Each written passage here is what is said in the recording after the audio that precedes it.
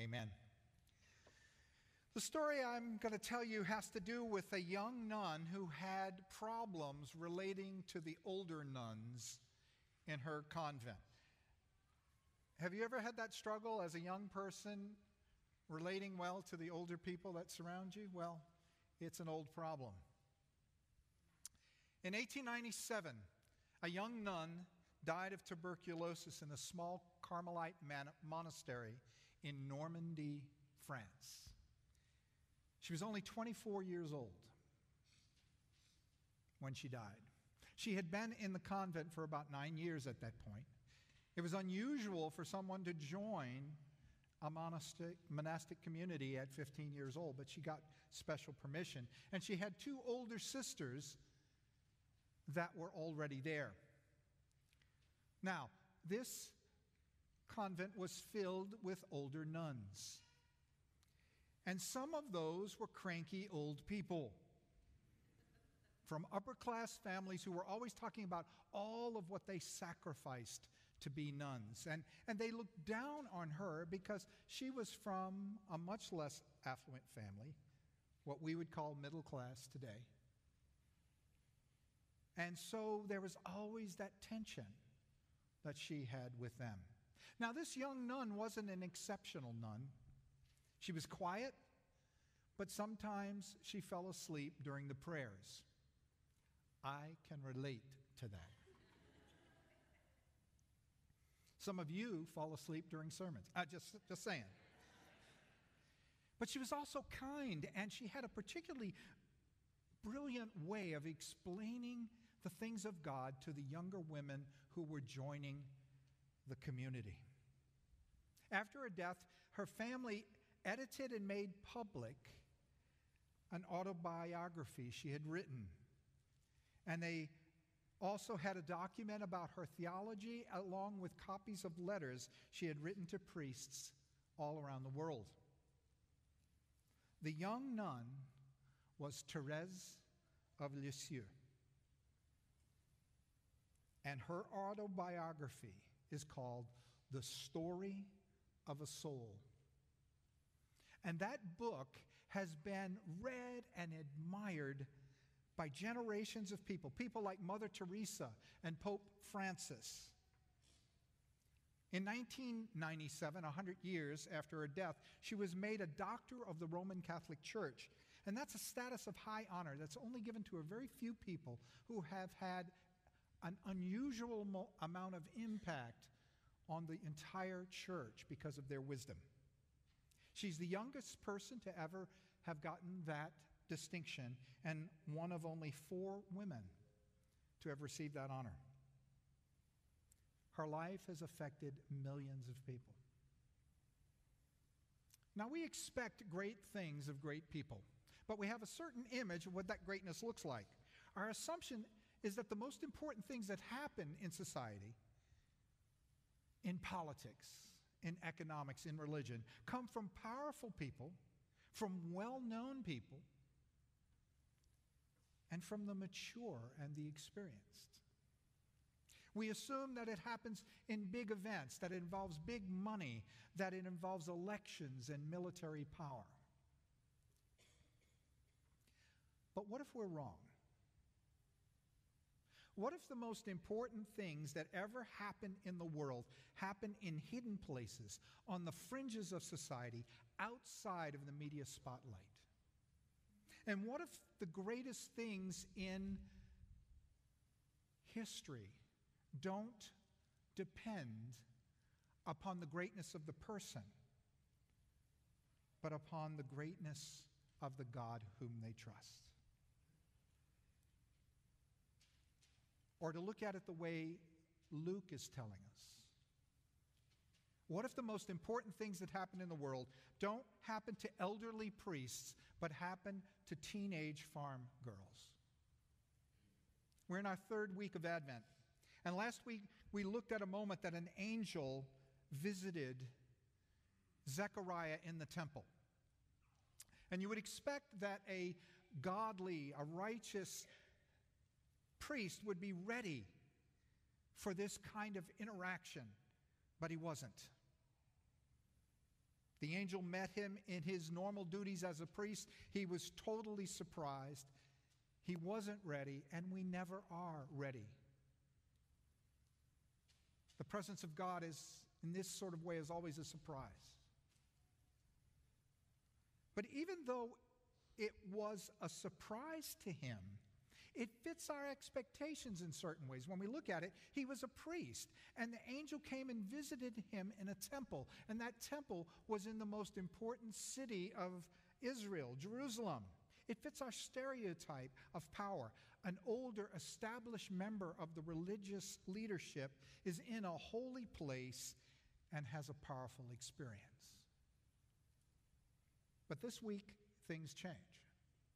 Because today's passage begins with these words In the sixth month of Elizabeth's pregnancy, God sends the angel Gabriel to Nazareth, a town in Galilee.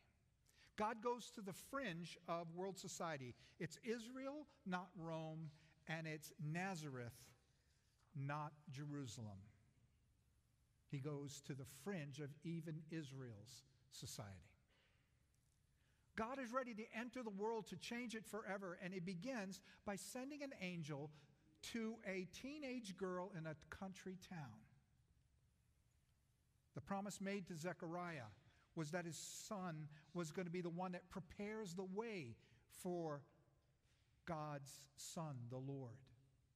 But God gives a promise to Mary through the angel that Mary is going to be the mother of the Lord Himself. So let's take a look at that. We're going to be looking at Luke chapter 1. We're going to begin at verse 26, and we'll go all the way through verse 38, but we're going to take it in stages. Let's begin with verse 26 to 29. In the sixth month of Elizabeth's pregnancy, God sent the angel Gabriel to Nazareth, a town in Galilee, to a virgin pledged to be married to a man named Joseph, a descendant of David. The virgin's name was Mary. The angel went to her and said, Greetings, you who are highly favored. The Lord is with you. Mary was greatly troubled at his words and wondered what kind of greeting this might be. Let's end with that. We're all familiar with this story. We've read it or heard it preached lots of times. The angel Gabriel comes into the presence of a young, unmarried woman in Nazareth. He brings an amazing message. This small town teenage girl is highly favored by God, God is with her. Now, according to Luke, Mary was a young girl, probably junior high, high school age person. She's a teenager. And right from the start, we're dealing with the unexpected because God is beginning to answer promises that He's made for thousands of years to send a Savior into the world, to change all of human history from that moment on. And yet He chooses someone who's not even old enough to have a driver's license. Think about what happens here. God uses a perfectly powerless person with no status in society because she's poor and she's a woman. She's not, she doesn't even have power within her family because she's a child. Yet the angel doesn't say to Mary, Go ask your father for permission. That's not in the text. He doesn't tell her, go and discuss this possibility with your fiance Joseph. Not there. It's not orderly. It's not going through the right channels. It's not fitting our expectation of the kind of person God should be choosing. God is dealing with Mary directly. He's making this awe inspiring promise that embraces all of human history. He's making it directly to this teenage girl. The greatness of the moment is not in the greatness of the person, but in the greatness of the God who's making the promise. Just as we would expect, Mary is greatly troubled by this moment. Having an angel visitor in your living room is not expected. And just as in every other angelic visitation, the angel says, Don't be afraid, calm down, you'll survive. And then what happens that follows in these words are some of the most amazing words ever spoken. And we're going to take a look at that beginning at verse 30. But the angel said to her, Do not be afraid, Mary. You've found favor with God. You will conceive and give birth to a son, and you are to call him Jesus. He will be great and will be called the Son of the Most High. The Lord God will give him the throne of his father David, and he will reign over Jacob's descendants forever. His kingdom will never end. How will this be? Mary asked the angel, since I'm still a virgin.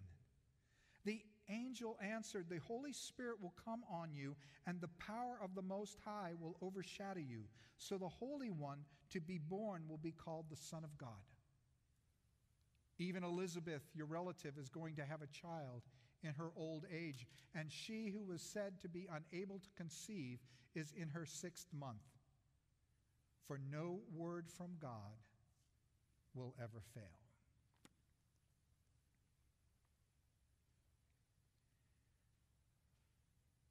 Well,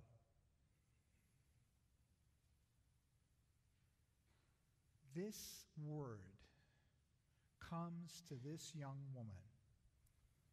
And since we talk about this so often, I've thought about the other times that I've preached about this or taught about this.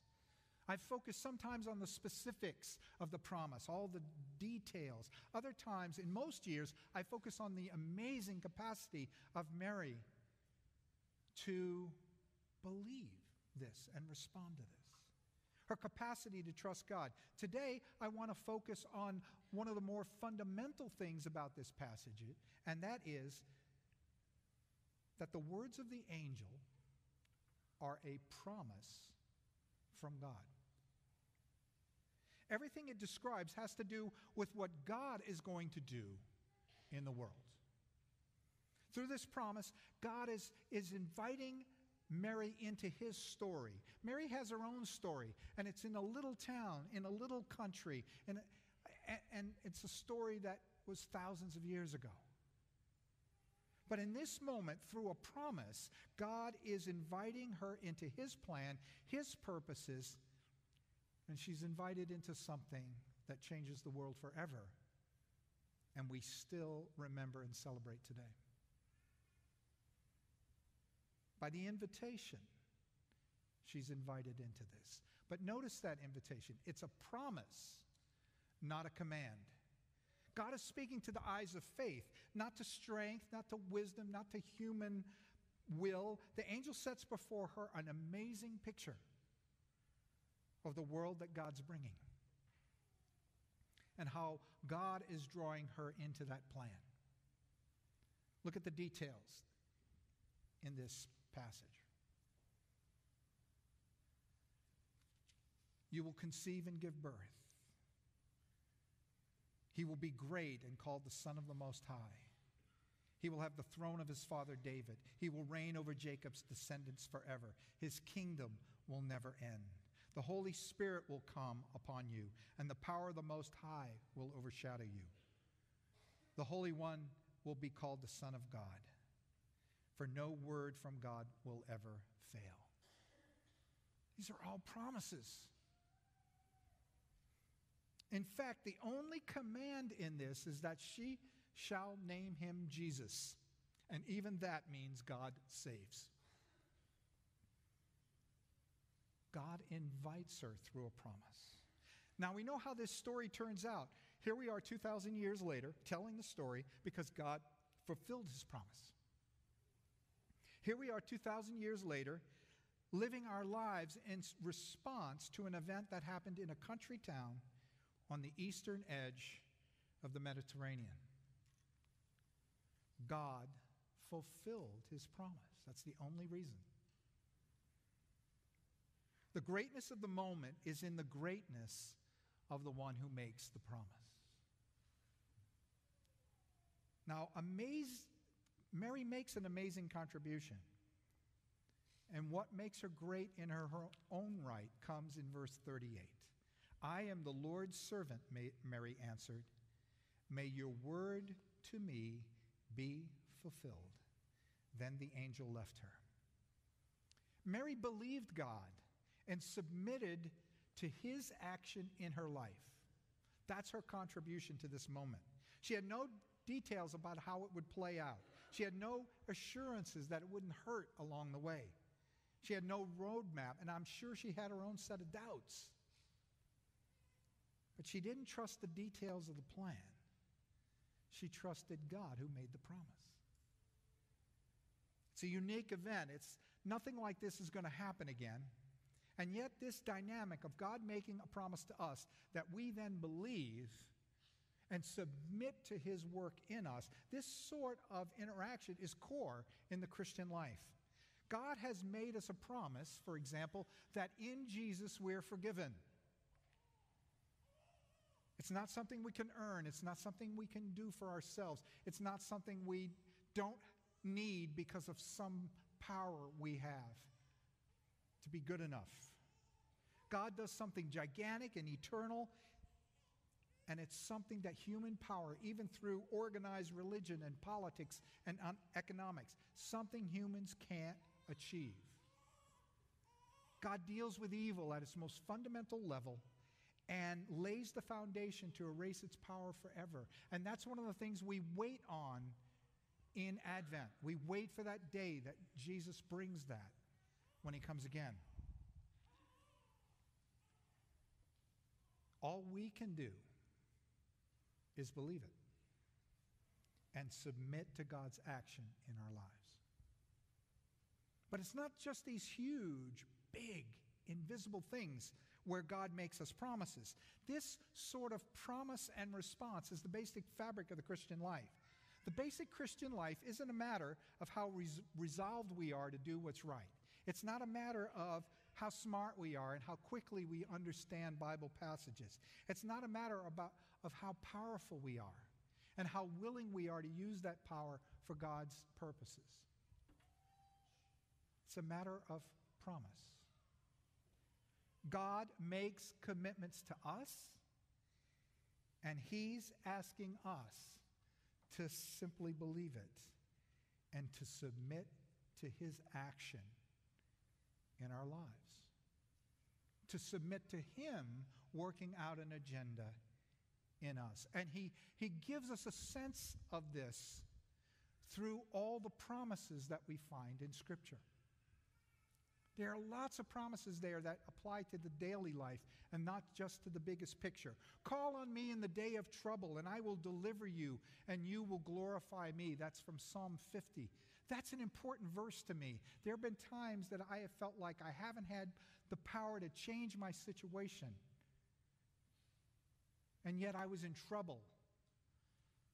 And so I would call on God and wait for his deliverance. And so this is one of those moments where I then glorify him by saying, He did deliver. Give and it will be given to you, pressed down and shaken together. The, the enormous generosity of God. If we confess our sins, He is faithful and just and will forgive us our sins and cleanse us from all unrighteousness. Something we need, a promise we need for every day. His divine power has given us everything we need for life and godliness through our knowledge of Him. That's buried in one of the books of Peter. And then it follows and it says, Through these, He has given us His great and precious promises, so that through them we might participate in the divine nature and escape the corruption of the world caused by evil desires. That's a promise. It's all one big, gigantic promise that God has given us everything we need for the life He calls us to. Don't be anxious about anything, but in everything, by prayer and supplication, make your requests known to God with thanksgiving. And the peace of God, which passes understanding, will keep your hearts and minds in Christ Jesus. It's a promise, it's for day to day. And there are hundreds, if not thousands of them. And the thing about a promise is it describes something God commits himself to do. It's not about what we can do.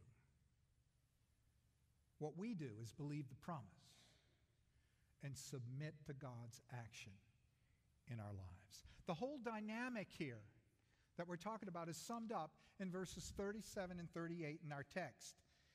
The promises that the angel makes ends with, For no word from God will ever fail. And Mary responds, I am the Lord's servant. May your word to me be fulfilled. That's the dynamic promise and response. So I've shared one that's important to me. I'm coming down here and ask some of you what has been an important Bible verse? You don't have to quote it perfectly, you don't have to note the reference, but what's a Bible verse, a promise that you've held on to. Now, let's make sure it is a Bible verse, not just something you heard from Oprah, okay? Let's, it is a church service, so anybody, any, just take a few. Somebody who wants to share a Bible verse, a promise you've held on to. Yes. Um,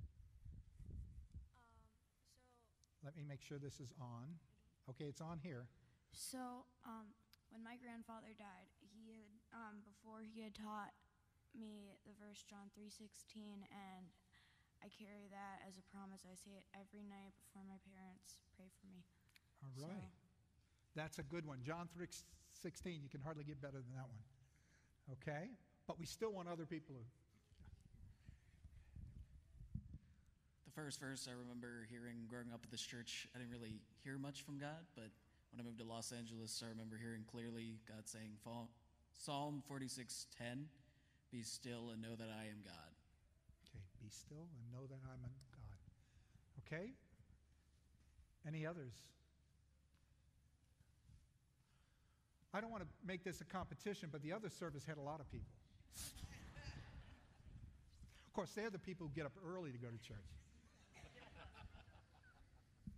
My God shall supply all your needs according to his glorious riches in Christ Jesus. Amen.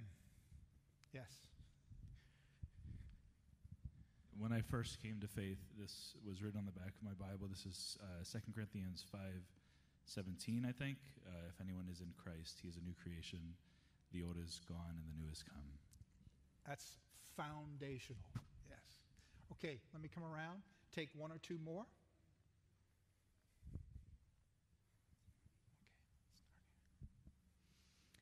Psalm 103 He renews my strength like the eagles.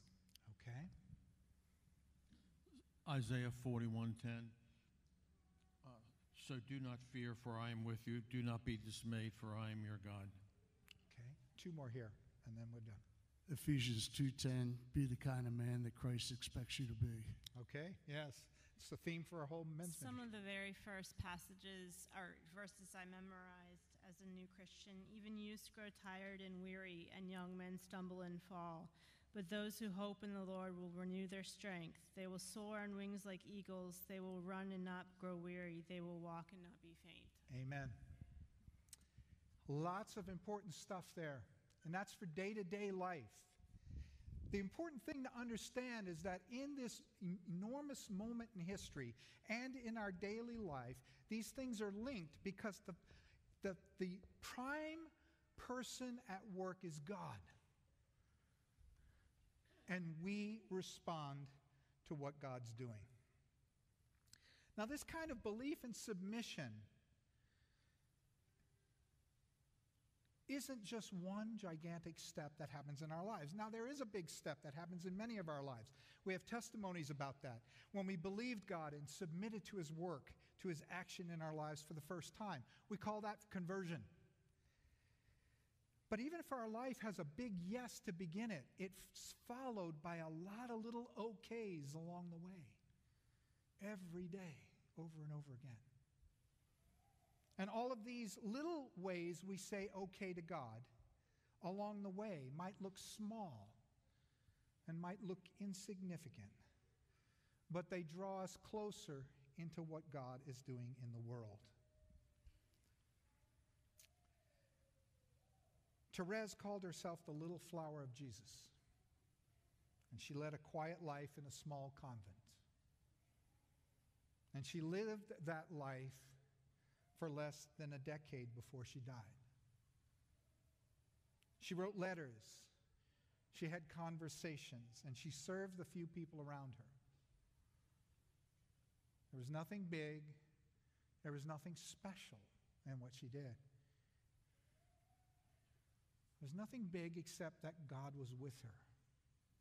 There was nothing big except that she believed God's promises and submitted to God's work in her life, and that made all the difference. Now, there might be some places where God is making a promise to us right now. Not just general promises, but specific promises given to us.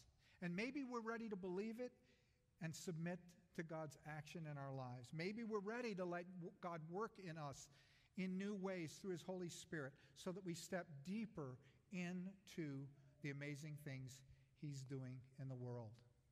So even if we're a teenager, even if we're on the fringes of things, even if we don't look anything like the person, the kind of person that changes things, God might be making a promise to us. God might be asking us to be sensitive to something that He's doing, to be part of something much bigger. Sure, you have doubts. Sure, it'll be confusing. Sure, you won't know exactly how to respond to something that where God, somebody wants to give you a medal, and that's not part of our tradition.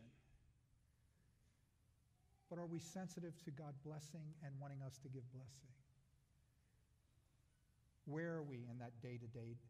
And if we're not ready right now, if we're not listening right now, God will be patient and He will continue to be there. He will continue to ask, He will continue to prod. And amazing things can happen when we say yes.